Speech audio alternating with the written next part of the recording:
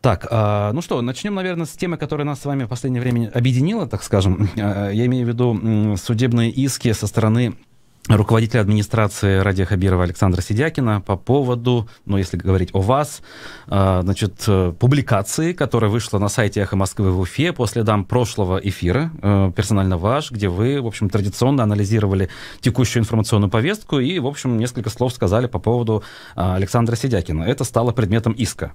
Вот как вы это можете прокомментировать, я не знаю, ваши мысли на этот счет, э, планы по поводу линии защиты, может быть, или просто комментарий?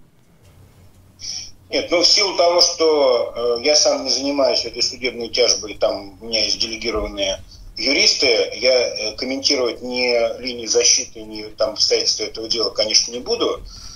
А могу только прокомментировать, в принципе, реакцию господина Сидякина, э, ну и как бы дать какую-то оценку этой реакции.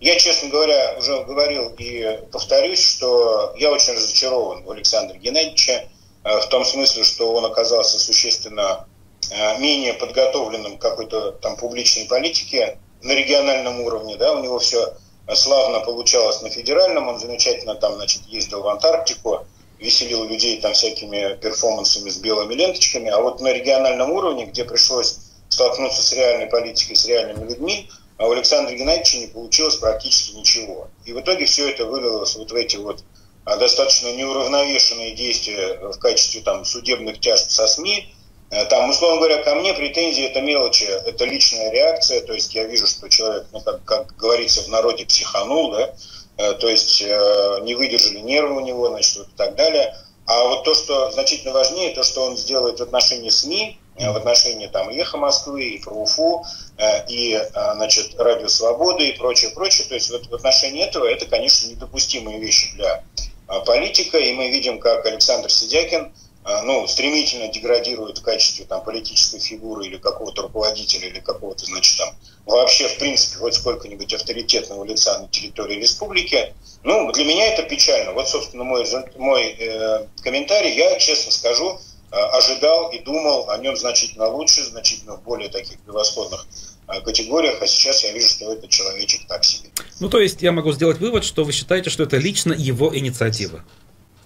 В отношении меня это, конечно, это личная реакция, в отношении СМИ это, конечно, совершенно иначе. Это системный подход в том смысле, что нет никаких других аргументов, как засудить всех э, вокруг себя или попытаться это сделать, потому что человек не, не готов и не заточен ни на дискуссию, ни на а, какое-то обсуждение, то есть у него нет аргументов, у него есть только вот эта вот судебная дубина. Ну, посмотрим. Вообще, я лично очень оптимистично настроен в этом смысле, потому что, вероятнее всего, а, у США ничего не получится. Так, хотелось бы все-таки понять, а почему же? То есть вы рассчитываете на справедливое разбирательство в суде? А, ну, у меня есть для этого основания, я еще раз скажу, я не буду сейчас э, обсуждать вот технологические аспекты, мне э, мои адвокаты этого не разрешают делать. Угу. Ну, если абстрагироваться от того, что это касается вас там и нас, как редакции, вы считаете, что это вообще то, что это негативное явление с точки зрения свободы слова, это я понял. Но насколько это позитивно, негативно или совершенно нейтрально отразится на э, репутации, что ли, политической карьере непосредственно самого Сидякина? Безусловно, это отразится негативно, это уже начало отражаться. А, это будет некий длинный-длинный процесс. На самом деле, то есть, если он полагает, что все это закончится там как выстрел, как, значит, щелчок кнута э, и прочее, нет, это будет длинный-длинный процесс, э, э, в течение которого его репутация будет полностью уничтожена. Ваша позиция понятна. Но, э, значит, продолжая тему исков, не могу не вспомнить, что совсем недавно уфимская администрация анонсировала иски к СМИ, которые сообщили о возможной болезни главы администрации Ульфата Мустафина. Но вот буквально сегодня глава республики выступил с обращением и подтвердил, что э, Ульфат Мансурович заболел ковидом. Вот как вам эта ситуация видится? Ну, мне это видится в очередной раз подтверждением моей правоты, в том смысле, что я говорил и говорю, что э, пресс-служба Уфимской мэрии никуда не годится. Ее нужно разобрать на, на части и разбросать в, в противоположных направлениях, чтобы, не дай бог, это все не собралось снова. Э, это не работающая конструкция, это отвратительный пресс-секретарь Уфимской мэрии, и, ну и как результат мы видим вот эти вот вопиющие противоречия реальности и их слов – Никто ни в какой суд никуда ничего не подал. Это были пустые слова, это были пустые пугалки. Выглядело это неприлично, а теперь еще более неприлично это выглядит на фоне вот этого выступления Ради Хабирова в черной рубашке. А неужели вы думаете, что сотрудники пресс-службы уполномочены и вообще как бы сами готовы сделать такие заявления, не получив на то указания сверху? Имею в виду, сначала сказать, что вот мы иск будем подавать. Ну, вы же знаете, чем отличается хороший пресс-секретарь от плохого пресс-секретаря, да? То есть вот чем отличается Байбула, э, как его там зовут, господи, Байдавлетов, Байдавлетов да, вот этот вот, да, Байдавлетов от э, Пескова, например, да? А, он, э, они отличаются кардинально тем, что э, Песков мыслящий самостоятельная величина, по крайней мере, понимающий, как мыслит его хозяин, да? и вполне в состоянии формулировать быстро реагировать на всякие вызовы и вопросы. А Байдавлетов, если он радиоуправляемая величина, если он всего лишь динамик, ну, в таком случае, конечно, претензии я снимаю, но у меня возникает вопрос, за что же мы платим такие зарплаты, если он просто говорящая голова. То есть, если предположить, что ему кто-то указал сообщить вот то, о чем мы говорим, да, об исках, ему следовало бы самому подумать, э, э, как Дмитрию Пескову, и как-то, я не знаю, отреагировать по-другому и, соответственно, другую информацию выдать. Естественно, нет, если он готов на подобные унижения, что значит сегодня ему скажут, чтобы он сказал А, завтра он скажет Б, послезавтра он скажет, что все это было не так, если он готов на эти унижения с, там, с профессиональной точки зрения, с человеческой точки зрения, да ради бога, пожалуйста. Но а, давайте не забывать о том, что пресс-служба мэрии и вообще пресс-служба государственных органов власти любого уровня – это, в общем-то, функциональная единица, которая, у которой есть цели и задачи, которая должна информировать население, должна разъяснять какие-то вопросы. Это не просто пресс-служба какого-то клоуна, да ведь? Или какого-нибудь там актера, или какой-нибудь рок-звезды, который может нести все, что угодно, там, ну, на радость или на нерадость публики. Нет. Это, в общем-то, функциональная единица. Мы платим им зарплату. И в том числе вот этому бестолковому Байдавлетову. Значит, и он должен нести ответственность за то, что он делает и говорит, да? Или он должен выйти и сказать, мне вчера позвонил Мурзагулов и сказал, значит, произнести в эфире следующее и зачитать вот этот текст. Вот это было бы честно, да? Mm-hmm. Ведь он же говорит от лица уфимской пресс-службы, так? Ну, столь ли виноват что он? Ведь эта же система так устроена. Нет, мы же можем предположить, что, в общем, как бы они не ожидали, что так ситуация повернется, и глава республики вновь, э, точнее, выйдет и признается. То есть это, возможно, была такая линия, и деваться было некуда конкретному исполнителю.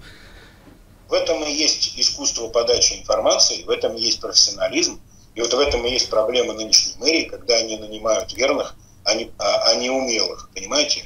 Верных, а не умных. Это у нас сейчас ситуация повсюду в Башкирии. И в высших э, эшелонах власти, и пониже, и так далее. И наверняка вот этот вот э, товарищ Байдавлетов, кем бы он там ни был, он, наверное, очень рекомендован был какими-нибудь хорошими друзьями и товарищами, как человек надежный. Но никто ни разу не сказал, что он очень хороший профессионал, он умеет выходить из сложных ситуаций, а вот сейчас сложная ситуация в информационном смысле, да ведь? И никто об этом не говорил. Он зато хороший парень, надежный человек и, наверное, еще и сын каких-нибудь хороших родителей. Я надеюсь. Вот. Но этот набор э, рекомендаций перестает работать в экстренной ситуации. Вот именно сейчас мы попадаем в достаточно системную экстренную ситуацию. Ситуация с Ульфатом э, Мустафиным не последний кризис в информационном поле республики. Я вам это вот предсказываю. Угу. А как вот вы можете э, прокомментировать тот факт, что все-таки Ради Хабиров вышел с этой информацией, да, публично ее э, озвучил? Хотя изначально мы можем предположить, что они этого делать не хотели. Ну, я могу это прокомментировать только так, что в республике не осталось уже достоверных источников информации. А, то есть ни Башинформ, ни говорящая голова Мурзагулова, ни тем более там какой-нибудь господин а, Байдавлетов из Уфимской мэрии не вызывают сколько-нибудь серьезного доверия у населения, не являются акторами новостной повестки, и вот приходится теперь главе, значит, самостоятельно отдуваться. Вы помните фамилию пресс-секретаря э, Хабирова? Да, я помню, мы общаемся довольно часто. Я вот не помню, многие не знают вообще даже о существовании пресс-секретаря Хабирова, и абсолютное большинство людей не знают в лицо пресс-секретаря Хабирова, многие даже не знают, что у этого пресс-секретаря женский пол, например. Да? То есть вот это уровень информационного обеспеченности Республики Башкортостан на сегодня. А может быть в этом можно плюс усмотреть. Вот и был бы, например, пресс-секретарь очень публичный, каждый день выступающий, мы бы получали всю информацию из вторых рук. А так непосредственно глава республики выступает с обращениями, встречается с журналистами. Ну, то есть мы всегда можем, в общем, напрямую пообщаться. Чего, например, раньше даже не хватало, например, при Рустаме Хамитове. А, ну, на самом деле это не так. Во-первых, вы не до конца правильно трактуете функцию пресс-службы и пресс-секретаря. Конечно же, пресс-секретарь не должен заменять собой, там, ну, условно говоря, своего хозяина. Но, но существует огромное количество вопросов, по которым отрабатывает пресс-служба, в том числе вот эти, значит, пресс-релизы, регулярные информационные потоки и прочее, прочее. Конечно, в какой-то экстренной ситуации, когда там э, сгорела какая-нибудь зимняя вишня и прочее, первое лицо должно ну, быть на первом э, плане, должно быть э, на экране, в эфире и так далее. Да. Но э, речь идет о том, что мы обсуждаем, мы начали обсуждение с уфимской мэрией. Да? Mm-hmm. То есть мэр отсутствует, и, безусловно, существует пресс-секретарь. Здесь вот абсолютно очевидно роль пресс-секретаря в этой ситуации. И она не удалась господину Байдавлетову, прямо скажем, это был провал. Хорошо. А вот отсутствие мэра на рабочем месте на протяжении продолжительного времени, насколько плохо для хозяйства городского? Вот учитывая, я почему спрашиваю, учитывая, что раньше вот звучали такие мнения, что, в общем, функционал уфимского мэра сейчас значительно меньше, чем был, например, во времена Ирика Елалова, потому что это, в общем, Министерство по делам Уфы, Белого дома. А раз так, то и Белый дом справится напрямую. Нет, конечно. Во-первых, существует формальный функционал, то есть право подписи и всевозможные, значит, вот эти вот э, ну, правила документа оборота и так далее, когда подпись мэра необходима, это раз. Ну, несмотря даже на то, что существует ИО, да. Значит, второе, конечно же, э, роль уфимского градоначальника не так незначительна, как это хочется, например, представить некоторым, там, например, тот же Саша Сидиакин, а он ну, очень не хочет, чтобы, ну, скажем, там, фигура мэра была значительной с точки зрения градации вот этих вот власть полномочий. Э, это вопрос такой маленькой ревности. Нет, конечно, фигура мэра – это очень важно. Отсутствие мэра более месяца на рабочем месте – это негативное э, влияние на ситуацию в городе, это однозначно. То есть, ну, если, например, господину Байдавлетову, как он заявил, кажется, что там есть мэр, что нет мэра, ничего не меняется, и жителям от этого неплохо и нехорошо. Но вот это вот безобразное, на мой взгляд, циничное высказывание пресс-секретаря Уфимской мэрии, конечно, надо взять на заметку и как-то между собой разобраться там, ну, вообще. Он кем себя возомнит, это а, неизвестно чей племянник. Так вот, значит, э, соответственно, ну, нет, конечно, конечно нет. Это очень плохо, то, что нет мэра, то, что он не, э, не работает в данный момент физически, то есть это, конечно, очень плохо. Ну что ж, пожелаем Ульфату Мансуровичу скорейшего выздоровления. Будем надеяться, что он вернется э, к исполнению своих обязанностей. Э, и продолжим значит, говорить. Вот э, есть еще один вопрос, по которому Ради Хабиров изменил, в общем, позицию. Это позицию по поводу акций БСК. Довольно неожиданно, на мой взгляд, в выходные прозвучала его позиция в том, что мы теперь, мы, это в смысле республика, поддержим позицию, значит, прокуратуры о переходе акций, значит, собственность России. Вы как эту ситуацию видите? Как прокомментируете? Ну, я уже, конечно, комментировал ее, но э, попытаюсь э, значит, свести воедино разные-разные значит, версии. Ну, во-первых, мне кажется, что опять произошла некая акция радиоуправления из Москвы. То есть до сего момента Хабирову не была представлена позиция федерального центра по этому вопросу. Теперь ему там ее, видимо, расшифровали. А, потому что ну, столь кардинальное изменение позиции может быть только под влиянием каких-то обстоятельств. Центра это президента да. лично? Как вы думаете? Нет, нет, конечно. Не, ну что вы, ну не надо преувеличивать. То есть общение президента э, России э, Путина и Хабирова это всего лишь несколько раз в жизни у Хабирова случилось, там буквально считанное количество. Конечно, никакого прямого контакта у них нет и быть не может. Более того, в последнее время Хабиров как бы не входит в число любимчиков и фаворитов э, Владимира Путина, это безусловно. Нет, конечно, там существуют чиновники администрации президента, которые непосредственно завязаны на э, Хабирова. Я думаю, что уровень Кириенко и даже уровень начальников управления администрации президента вполне себе достаточен для э, управления э, значит, Хабирова. Соответственно, ну вот он получил какое-то указание. У меня складывается впечатление, что уже существует некая договоренность между как бы вот Кремлем и э, Башкирией, тут уже не важно, о разделе этих акций. предварительная договоренность. Судя по всему, из Москвы были даны гарантии о том, что ну, пакет не меньше предыдущего останется в управлении Республики Башкортостан, то есть не в собственности, а в управлении. Mm-hmm. Но это моя версия. Это такая, она очень правдоподобная, она основана на некоторых данных и некоторых там разговорах с э, московскими чиновниками. То есть схема, видимо, выстраивается следующим образом. Отжимают все 100% федеральную собственность и в управление Башкирии выдают там 38, а может быть там и 45%. То есть, в принципе, не жалко. Угу. Вот. А, то есть в управлении и в право пользования дивидендами вот этой э, части собственности. Но не контрольный а, пакет. Ни, ни в коем случае контроля над предприятием допущено не будет точно. Значит, вероятнее всего, контроль над предприятием ну, при таком сценарии будет передаваться одной из э, госкорпораций. Там есть несколько ну, предположений, каким из них. Э, и далее, вот, как говорится, поехали. А потом будут предприняты попытки какого-то решения сырьевой проблемы или, по крайней мере, ее стабилизации. А дальше, конечно же, через несколько лет мы опять подойдем к моменту новой приватизации БСК. То есть это вот почти повторение сценария с э, Башнефтью, ну, немножко там с разными вариациями. Не, неопределенным остается вопрос только реакции и взаимоотношения и пути решения проблемы с э, собственниками, физическими лицами, вот этими тремя богатырями, а, живущими за пределами Российской Федерации, но являющимися резидентами Российской Федерации. Вот как с ними быть, на каких условиях у них будут отбирать эти акции, пока остается непонятно. Если вот эту вашу теорию, значит, ну, взять за основу, то насколько это позитивное, что ли, разрешение всей этой истории? Или вот все-таки это больше негативная история? Или нельзя сказать пока заранее?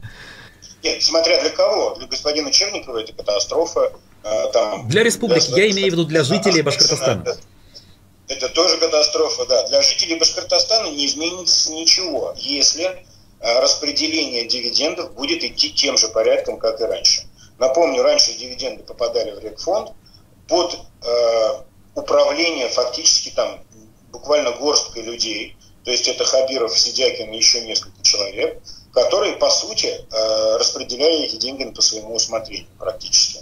Если эти деньги будут попадать в бюджет, ну хотя бы в той же сумме, что и раньше, то, конечно, э, жители республики от этого выигрывают, безусловно. То есть, по крайней мере, есть шанс на то, что деньги будут распределены в соответствии с бюджетными правилами и в соответствии с целями и задачами бюджета э, республики, и есть шанс, что какая-то их часть хотя бы дойдет до каких-то позитивных целей, там, построят какую-нибудь школу там, или купят хотя бы, наконец, какие-нибудь скорые помощи, или, например, заасфальтируют улицу э, Комсомольскую или 8 марта. На ваш взгляд, судебный процесс, который вот начался уже и вот в пятницу следующее заседание, может быть интересным? Или, в принципе, там все будет предсказуемо? Буквально 30 секунд до перерыва. Он будет очень интересным, э, пока не все предсказуемо, но многое становится понятно. Понятно. А, политтехнолог Андрей Патерицын на прямой видеосвязи с нашей студией сегодня. А, продолжим на тему уфимских событий, значит, связанных с застройками, активностью граждан и созданием Республиканского градостроительного совета во главе с главой республики. Ну вот давайте с конца, наверное, да. Сам Градсовет, на ваш взгляд, это решение проблемы на будущее? То есть у нас теперь не будут возникать вот эти вот очаги напряженности, как на Шатару Ставелли? Или все-таки это бесполезно? Это бесполезно, конечно. Это очередная надстройка над неработающей системой. А, в том смысле, ну, начнем с того, что это вообще-то не совсем понятная с точки зрения закона формация.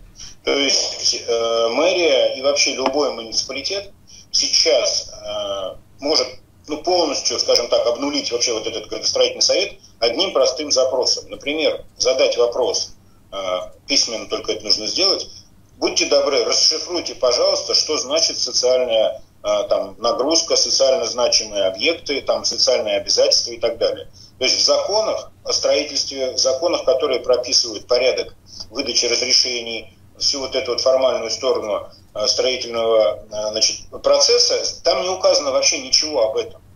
С формальной точки зрения никакого градостроительного совета существовать не должно. Есть муниципальные полномочия, значит, существует там э, увязка, например, строительства с там, генпланом города, с правами и обязанностями муниципалитета и застройщика, да, то есть вот я могу сейчас взять и обратиться в мэрию там, с там, просьбой о выделении там, какого-то участка под строительство. Мэрия в определенном порядке должна согласовать или не согласовать, отказать там на каких-то законных основаниях и так далее. Это все прописано в законах. Там ни слова не сказано ни про какой градостроительный совет, и ни слова не сказано, что какой-нибудь Сидякин или тем более Баширов должны определять судьбу значит, запроса на строительство.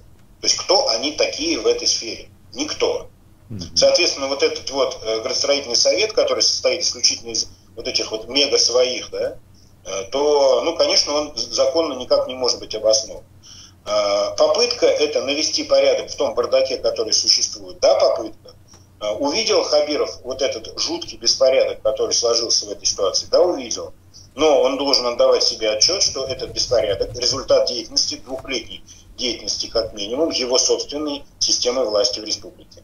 Угу. Два года уже, более чем два года, его люди, он, вот эти все свои, э, осуществляют вот эти полномочия. Вот результат. Значит, ну, делать очередную надстройку, или, как говорил э, господин Балабанов в свое время, платить сущности, я не вижу никакого смысла. Ну а как-то же решать надо. Я понимаю, что вот вы говорите сейчас с точки зрения там законов, может быть, не все в порядке, но ведь у нас не всегда именно по закону все решается, да? Тем более здесь люди... Угу. Реша, решая до этого не по закону, они снова решили делать не по закону. Угу. Где здесь логика? Угу. Но само желание ведь это хорошо. Все-таки желание же оно направлено на... Желание это прекрасно. Но э, желание никогда не подменит ни компетенций, ни э, значит, возможностей, ни э, значит, э, потенциально, э, потенциальных решений, путей решения. Хотеть этого недостаточно. Если я сейчас захочу прыгнуть с места на 5 метров в высоту, при всем моем желании я не смогу этого сделать. Ну, разве найдутся люди в администрации Уфы, которые скажут, ай-яй-яй, все это не по закону, мы пошли в суд? Ведь все-таки это люди одной команды, они скажут, ну что ж, ну ладно, давайте так. До тех пор, пока у нас существует хоть сколько-нибудь конкурентная среда, и в том числе в строительной сфере, найдутся люди, которые просто через обыкновенный районный суд отменят любые решения вот этого градсовета как ну, просто не, ну, нелегитимного органа и все. А как же Курултай, который у нас в случае необходимости может э, в течение недели принять нужные не только поправки, но и целые законопроекты? Нет, если это полномочия и компетенция региональных э, законодательств, то да. Но что-то мне подсказывает, что речь идет о системном федеральном законодательстве о строительстве, и, соответственно, это не зона действия Крутая. Угу. То есть это все может закончиться неприятно э, какими-то процессами громкими и откатом назад? Ну, в определенный момент. То есть до, до какого-то момента, конечно, все муниципалитеты будут покорно воспринимать этот э, странный орган как ну, необходимость и как данность. То есть, по сути, все перейдет в на такую значит, э, схему. Вот в муниципалитете появляется заявка на строительство, они каким-то образом ее обрабатывают, значит, там превращают в какой-то документ и отправляют на решение там Сидякина, Баширова, Хабирова. Дальше там приходит бумага с красной значит, рецензией, там, э, разрешить, не разрешить. Ну, в какой-то момент кто-то из участников процесса не согласится с такой постановкой вопроса. А по земле, вот завтра Курултай примет, видимо, уже в окончательных чтениях э, изменения в законы по поводу контроля за распределением значит, земли. Здесь вы как думаете, это правильно с точки зрения борьбы с коррупцией на местах? Ну, это имитация. Э, вот если бы существовала уверенность в том, что госпожа э, Полянская и ее аппарат способны кристально честно обслуживать вот эти функции, которые они забирают себе, тогда да, может быть вернее, я бы сказал. Но откуда у нас уверенность, что они в состоянии делать это все кристально честно, чисто, а самое главное, правильно? Где у нас уверенность в том, что они справятся в ближайшее время, прямо вот буквально через неделю-две уже начнутся у них эти функции, где уверенность в том, что они с этим э, гигантским объемом задач справятся э, эффективно, вот внезапно, и, хотя они еще даже не пробовали этого делать никогда. Но вы согласны с тем, что вот есть эта проблема на местах, и ее как-то нужно решать? Когда... Конечно, она есть. Есть. Конечно. Ее нужно, ее нужно решать при помощи усиления полномочий местных районных советов, при помощи смены э, кадрового состава глав районов, которые, вот, э, как вот метко заметил господин Ахмадинуров, вот, э, главарь Башкирской Единой России, он э, с каким-то таким удивлением сказал, что там чуть ли не у каждого второго главы, оказывается, есть уголовные проблемы с распределением земли. Угу. А простите, господин Ахмадинуров, вот эти главы, они члены какой партии? Не вашей ли партии жуликов и воров? Их назначал случайно не сам ли Хабиров, вот этих глав, у которых у каждого второго значит, уголовные проблемы с распределением земли. Вот сюда нужно смотреть. Ну ведь, Тут вам... как Это говорится, ребята, может быть, не всегда, э, бывают и нерадивые, но ведь свои, и самое-то главное, других-то нет. Всегда же говорят, что кадровый голод у нас не то, что там в районах, но и в даже. Конечно, другие есть. У нас 146 миллионов э, населения Российской Федерации. Вот, например, буквально вчера Хабиров внес э, на рассмотрение Курултая кандидатуру э, значит, осетинского специалиста, который займет пост заместителя руководителя контрольной счетной палаты Республики Башкортостан. Так. А, зовут, его, зовут его Абрек, фамилию я не помню, но она такая очень хорошая. Батраев. Такая. Да, вот этот человек, вот, вот же нашли же кадры, да, ведь, вы смотрите. Судя по всему, проверенный наш товарищ, да, Э, то есть, как бы, прямо из Осетии вот прямиком к нам прибыл. Не, ну подождите, все-таки не сравнить. Э, такого человека, наверное, главой района не поставишь, потому что действительно он ничего не знает, что в этом районе происходит. А его сюда приглашают на контрольные функции. То есть, как раз человек, незамеченный в связях с местными какими-то баями, просто руководителями. Может быть, в этом случае это правильное решение? То есть он будет честно контролировать и считать. Да, Руслан, а можно было бы, например, взять специалиста еще из Колумбии, там еще менее э, связаны они с нашими э, криминальными группировками башкирскими. Зато какие навыки у людей, да, согласитесь. Так вот, нет, конечно, это все не, неправильно, абсолютно. То есть люди, которые работают в управлении регионом, должны быть как минимум компетентны и понимать, что происходит в регионе, они должны какое-то время в нем работать. Э, знать подноготную там территорию, я говорю это и о главах районов и так далее, и так далее, а не менять их местами, как шахматные фигуры на доске, например.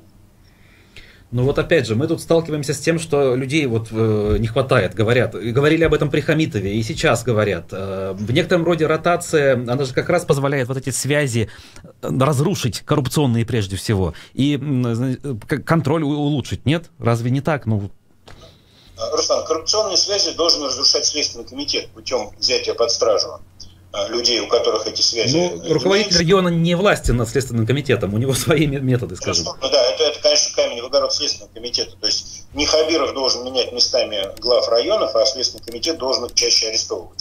Но а, я возвращаюсь к вопросу о кадровом голоде.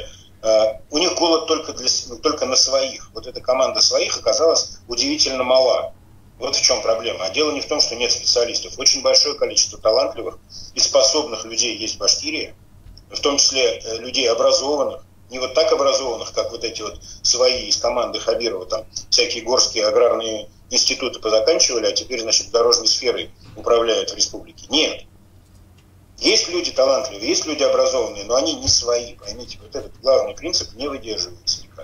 Вот в чем проблема для Вот тут на эту тему нам слушатель пишет, Дмитрий. Э, все крупные подряды отдаются армянам, он утверждает, э, не знаю, откуда эта информация. На ключевые посты выдвигаются кабардинцы. Тенденция, спрашивает он. Ну вот вы уже сказали, что тенденция, я так понимаю, да? Тенденция, да, уже трое представителей э, этого региона у нас занимают существенные должности в Республике Башкортостан. Угу.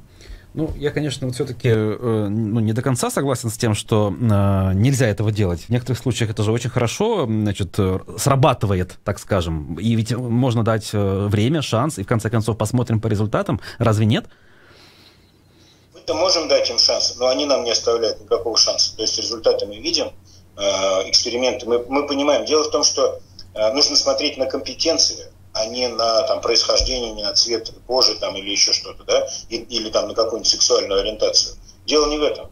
Но я не вижу примеров того, чтобы сейчас кадровая политика исходила из этого критерия, к сожалению. Только свои, только свои. Проверенные, где-то вместе работали, с кем-то контачили, какие-то, значит, там происходили сделки, люди ну, проверены вот этим огнем, огнем, водой и медными трубами, вот, значит, их можно брать. А как проверить человека на не только профессионализм, но и на некую надежность? Может быть, все-таки есть в этом смысле, в этом смысле аргумент, вот э, то, что да, это люди понятные, то есть понятно от них, э, чего ожидать, то есть они в последний момент не, про, не предадут, и это важно, может быть, в этой ситуации. Вот смотрите, Руслан, мы здесь с вами попадаем в интересную вилку. Что значит надежность? Надежный, который не сдаст криминальную схему или надежный, который не поддастся соблазну украсть? Надежный в смысле предсказуемый, наверное, все-таки. Он будет делать ровно то, чего от него это, ждут. Это совершенно не связанные понятия, предсказуемый и надежный. Угу. Совершенно не связанные. То есть в наших э, реалиях, я имею в виду реалиях в целом российских, можно э, вести кадровую работу иначе, вы считаете, по принципам каких-то западных, например, скажем? например, нет, э, не обязательно западный принцип. Например, есть э, принцип Татарстана. Татарстан безжалостным образом выявляет талантливых управленцев по всей стране и тупо переманивает их к себе на работу. Я был свидетелем таких разговоров, я вот как-то был Э, в командировке в Татарстане, мы там встречались с э, президентом Татарстана э, и с его управленцами. Вот и действительно там идет жесткий рекрутинг, люди очень внимательно присматриваются, и при мне были вот такие вот акции прямого значит, выкупа условно специалистов, они видят, что человек талантливый, хорошо работает, у него получается, значит, они его фактически соблазняют, там, предлагают условия лучшие, предлагают полномочия лучшие, предлагают там, значит, какие-то перспективы роста и так далее. Вот это, на мой взгляд, вполне себе жизнеспособный способ а, обрести нормальных, нормальные кадры, а не искать среди там воспоминаниях своих и записанных книжках тех, с кем я там удачно сходил в баню там, или где-то там чего-то заработал э, на курортах Кавказа. Так, ну все-таки, а вдруг все наши приезжие специалисты тоже так же отбираются, и они прекрасно до этого работали, но тут им предложили новые условия, потому что они ценные специалисты. Об этом же просто не рассказывают. К сожалению, подтвержд... к сожалению подтверждения подобным предположениям нет. Угу. Ну, э, тем временем вот как раз один из таких м, приезжих специалистов, э, ныне министр транспорта Алан Марзаев, подвергся критике, между тем, да, и довольно серьезной на утренней э, понедельничной оперативке. Тут я, наверное, спрошу э, по адресу ли? То есть правильно ли винить э, министра транспорта за то, что на дорогах гибнет э, довольно много людей? Кстати, не намного больше, чем в прошлом году, но все-таки гибнет. Начнем с того, что было много в прошлом году, а в этом году еще больше. Ну Давайте так машин больше становится, в общем. Да, дальше, дальше, значит, нет, машин становится больше, людей становится меньше. Не забывайте об этом и машин у нас не становится настолько больше. Нет, транспортная обстановка не стала напряженнее, но э, это, да, зона ответственности Министерства транспорта, значит, э, в первую очередь, потому что именно Министерство транспорта занимается организацией движения, а ГИБДД занимается контролем движения. Значит, вот это очень важный момент. Организация дорожного движения – это функция Министерства Марзаева. Угу. Он нисколько не занимается тем, чтобы изменить систему движения э, значит, под воздействием факторов аварийности. Вот в чем вся штука. Все, что он делает, это расстановка камер. Более того, камеры у него тоже не получается хорошо покупать, потому что они толком не могут проводить конкурсы. Но это мы так будем завуалированно называть не могут, а на самом деле у них не получается провести конкурс так, как им хотелось бы. Вот. Так что нет, это абсолютно по адресу. Меня забавляет другое, э, как, в какую сложную ситуацию попал Ради Фаритович, ведь рано или поздно ему придется своих начинать наказывать. Ну вот он уже анонсировал, что он до конца года посмотрит. Ну, он и... уже анонсировал, да. Но он, правда, очень мягонько пока это делает. Он, видимо, для себя еще не решил. Дело в том, что, понимаете, это ведь э, очень опасная история. В подобных сообществах, ну, которые мы видим в качестве власти в Республике Башкортостан, существует абсолютный э, закон. Своих не сдаем. Ну, Хабиров его декларировал э, как бы напрямую. Mm-hmm. Как только руководитель, вожак, вождь, э, главарь, ну, как угодно, да, этого сообщества – а, нарушает это правило, большинство людей, которые находятся в этом сообществе, э, подвергают сомнению э, свое благополучие дальнейшее. То есть ну. они видят прецедент, им становится страшно, они понимают, что они настолько же увязаны во всей этой системе. Да, и начинают себя вести лучше, работать эффективнее. Да что вы говорите? Нет, они начинают собирать вещи. То есть они понимают, что, во-первых, э, ну, то, что за ними уже числится, это никуда деться не может. Имеется в виду те прегрешения и нарушения, которые существуют, просто до них еще не дошли руки. Но они видят уже прецедент того, что, ну вот, условно говоря, кого-то из них уже сдали. Соответственно, значит, ну, начинаются панические настроения. Но это закон поведения в подобных сообществах, это не я придумал. И дальше вот. Дальше есть несколько вариантов. Либо сообщество распадается, либо оно переизбирает себе вожака. Вот, как бы, законы поведения вот в этих группах. Так что, ну вот, э, Хабиров, конечно, находится в очень сложной сейчас ситуации, каким образом ему э, выйти из этой ситуации, как бы не, э, ну, не, не уронив свои, своего авторитета и ну, не превратившись в очередной раз человека, который не исполняет своих обязательств, ну, вот, пообещав наказать Нарзаева, он, помнится, еще эти кровь обещал пролить. Помните, да, на одной из оперативок, что прольется чья-то кровь. Ну, то есть по результатам года. Вот, в отношении именно вот этого вот аварийности на дорогах. Ну, так что да, я, я в этом смысле не завидую Хабирову, он стоит перед очень трудным выбором. Ну вот если все-таки взять опять за основу то, что ваша теория верна с точки зрения вот качества управленческой команды, на ваш взгляд, а можно ли вот, как говорится, коней на переправе поменять вот так вот систематич, системно, точнее, да, кардинально, э, перейти на кадровую политику, как в Татарстане, например?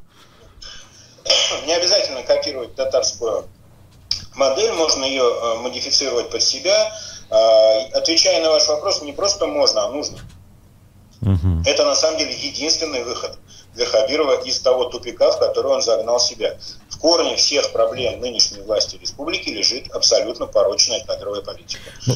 Если она не прекратится, она сама же себя и уничтожит.